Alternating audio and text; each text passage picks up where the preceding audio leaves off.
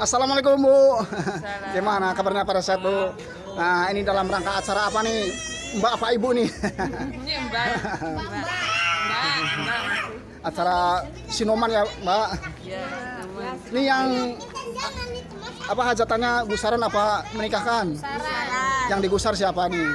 Lena sama Ataya. Eh, berarti kakak beradik ya Mbak. Mudah-mudahan yang digusar juga menjadi anak yang solehah, berbakti pada kedua orang tua. Nanti di kala besar nanti semoga jadi anak yang sukses. Dan mbak-mbak juga yang lagi sinoman atau rewang, mudah-mudahan dikasih kelancaran dan dikasih keberkahan. Semoga pada sukses untuk semuanya. Ya terima kasih atas waktunya. Wassalamualaikum warahmatullahi wabarakatuh. Waalaikumsalam.